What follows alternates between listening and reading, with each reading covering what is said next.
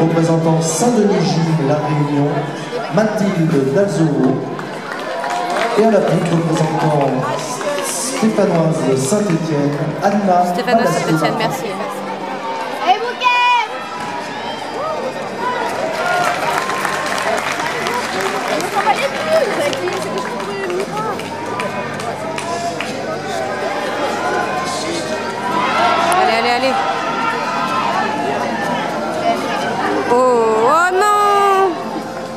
Ah, dommage.